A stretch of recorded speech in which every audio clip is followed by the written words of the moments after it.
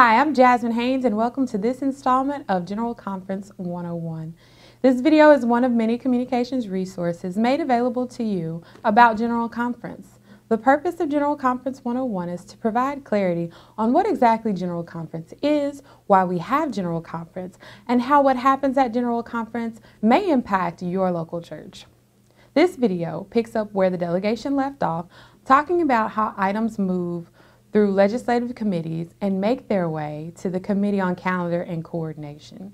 Bishop Tracy Smith Malone, Episcopal leader in the East Ohio area, was the chairperson of the Calendar and Coordination Committee at the 2016 General Conference. Bishop Malone took some time from her schedule to help us better understand what the Calendar and Coordination Committee does and how legislation moves from calendar and coordination to the General Conference plenary floor.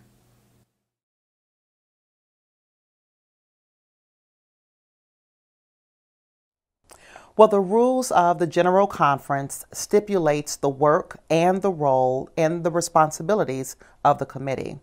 The committee is composed of 15 members drawn from each jurisdiction, with at least six being lay members of the General Conference. It includes membership from the Commission on General Conference, and it also includes the elected coordinator of the calendar. This committee is responsible for guiding the order of business for the General Conference. The General Conference considers well over a thousand pieces of legislation, in addition to receiving reports from various agencies and electing various officers. So there are competing priorities on the importance of legislative items. The Committee on Agenda and Calendar must sort through all of this work and all of the requests and then decide what business should come before the conference and when the business will be conducted. Now, some of the decisions in regards to agency presentations, celebrations, and worship services, those are made by the Commission on General Conference, their program committee. The Agenda and Calendar Committee meets every morning at 6.30 a.m. And for part of the meeting, the committee is joined by the chairs of all of the legislative committees, as well as the bishops who will be presiding on that day.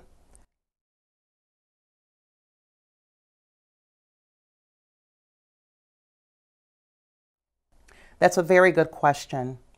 The things that are prioritized by the Book of Discipline and the rules of the conference they provide a framework for how the committee prioritizes the legislation.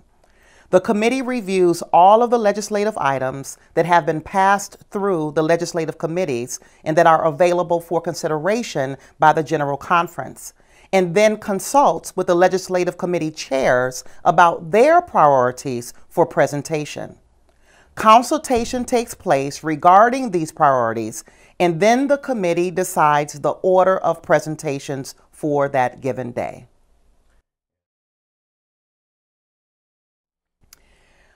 Well, this is a very large task, and this work requires much grace and patience.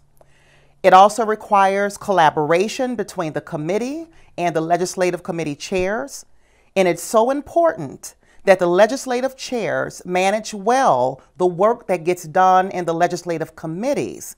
And then it's up to the Agenda and Calendar Committee to work with them to make sure that the good work that these legislative committees have done make it to the floor of the General Conference. General Conference 2020 will convene from May 5th through May 15th in Minneapolis. For more information on General Conference 2020, make sure you visit the conference website or you could like the Mississippi United Methodist Conference on Facebook. Stay tuned for future details and updates.